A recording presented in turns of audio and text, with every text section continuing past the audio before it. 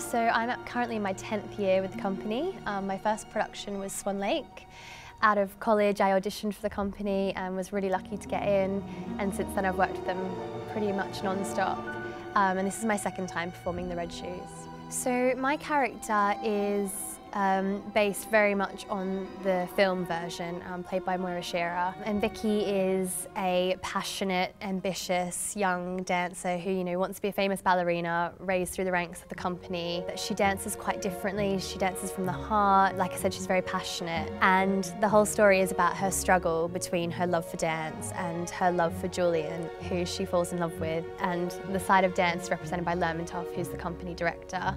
So her turmoil comes from that struggle. She's an amazing character to play. I go on a roller coaster of emotions and that struggle inevitably kind of drives her crazy and it's this real choice between love and art.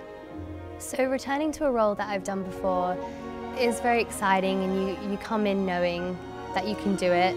So you come back for round two with a bit more confidence, which is really nice. But then again, you have to go on another journey and find something fresh and something new and interesting to keep it exciting for audiences. And we have plenty of shows to find that, so I'm just excited to be returning.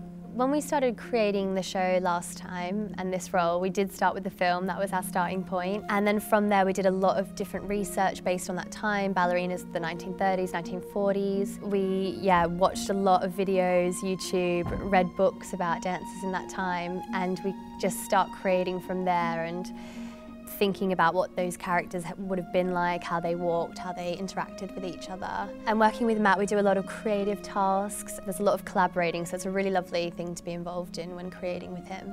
So I approached this role fairly similarly to other roles. Like I said, we always start at that point of research and we research the time and the story we're telling. This was a, a little bit more difficult because she's a dancer, which uh, no other roles I've played before have been that. So I'm a dancer playing a dancer, um, which is a really interesting dynamic. So it was quite different. But yeah, we, we do a lot of research and that's really where we start with our character building.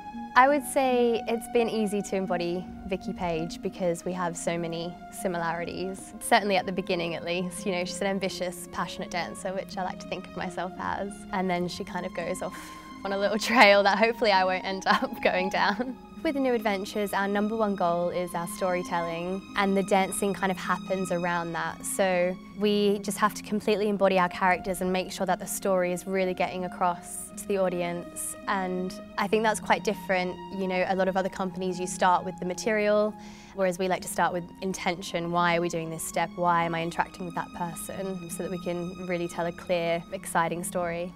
So a typical day of rehearsals for us is we have class at 10 a.m. So we're usually in around 9 to warm up and then we do class, we alternate between ballet and contemporary every day to keep both styles happening and we work until 6 and we learn new material, uh, quite often run the show, work on lifts with one another. Two nights a week we work late um, and usually they're focused on more specific parts of the show like duets and things like that. So once we get on tour around the UK, we usually go to seven shows a week, which is slightly less than what we do at Sadler's Wells. And it's amazing to visit all these different cities. Uh, I've done it a few times now, so we're very familiar with the theatres and where to stay. We usually, again, have class at about 11.30 and we do a tech on the first day and then we open that night. So the first day, which is usually a Tuesday, is very busy. Then we do shows throughout the week. We usually have a double on Thursday and a double on Saturday. It's really fun because we're all together, we're all away from home, we're all working really hard, so we have a really good time and we really bond with each other. And touring is one of the best things about being in this company and we get to take this show all over the UK and all around the world as well.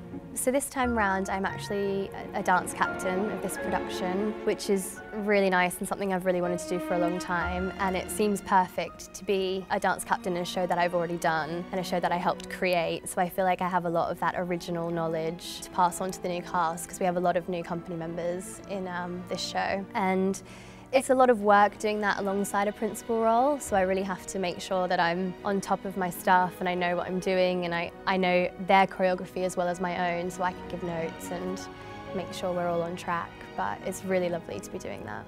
My favourite part of this show, it's actually Vicky's first solo and it's a scene that comes from the film where she is going to audition for Lermontov at a party and in the film he actually says I will not be watching that audition. But in our version, we actually go through with it, and it's just a really beautiful dance, and it's a beautiful costume, and I love doing it, and it's the first thing I do, so I'm always very nervous right before it. And once that's done, I can breathe, so I love that solo. It's one of my favourite moments in the show. Also, we have this amazing curtain arch thing that moves throughout, and it takes us from front to backstage, and Lez Brotherston, our designer, just did an absolutely amazing job on it and it's really, really magical. It really makes the whole show come together. I really hope audiences leave after watching The Red Shoes completely inspired and moved. It's an emotional, sad, dramatic story, so hopefully we touch a few hearts, maybe have a few tears, and just have everyone really enjoying their night.